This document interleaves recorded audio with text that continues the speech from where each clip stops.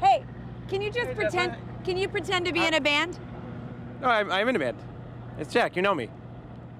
How you doing? What's up? It's not ringing a. It's not ringing a bell. Sorry. What are you? uh What are you like? Some kind of low-level roadie? My name's Janessa Slater, and I'm a media coach who's helped hundreds of bands. This is Sound Advice. What's your band? Well, you've interviewed me with Fun. With fun what? The band Fun. The band Fun. Never heard of them. And what's your other band? It's called Bleachers. Okay, your bands are called Fun and Bleachers.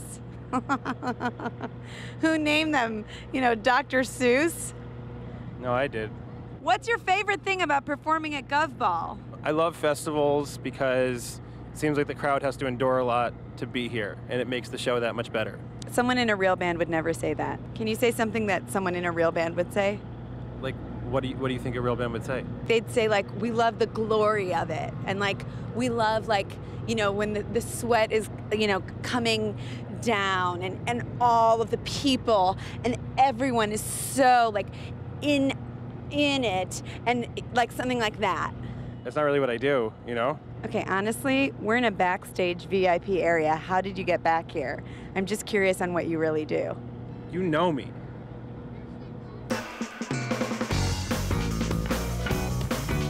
So I'm Janessa Slater, and I'm here at GovBall filming Sound Advice with Fitz from Fitz and the Tantrums. Hello. Thanks for having me. Thank you. So I heard that Adam Levine helped you guys get your big break, and I'm wondering what season of The Voice were you on? Um, we were never on The Voice. I just feel like you guys might want to kind of get into reality TV because look what it's done for Ozzy Osbourne. Am I right? So you guys have an EP called Santa Stole My Lady. Um, you know, it's funny because the same thing happened to my dad.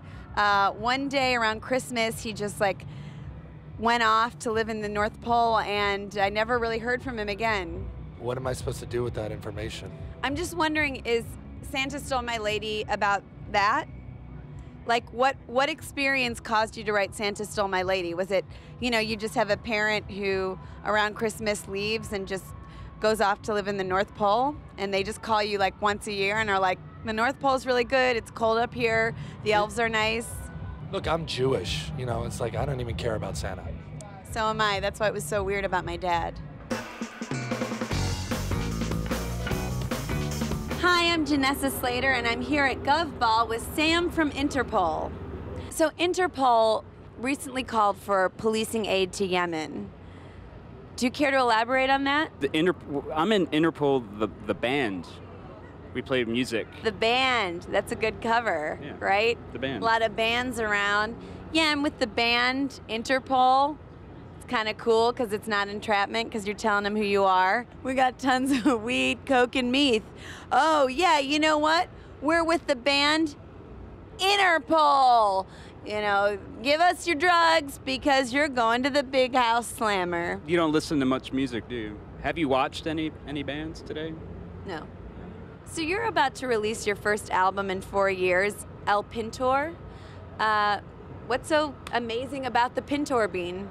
It's a painter, the painter in Spanish. Painter bean. So what's No so special bean. about it? No bean. The painter. Painter. No bean. What is it like? Draw pictures of beans all day? I'm in a band called Interpol. It is fun and it is great. Oh, oh, Interpol. We're a band with a cop name. I don't know. I guess I play music or whatever. I guess I'm musically inclined, or I guess I can be in your band or whatever.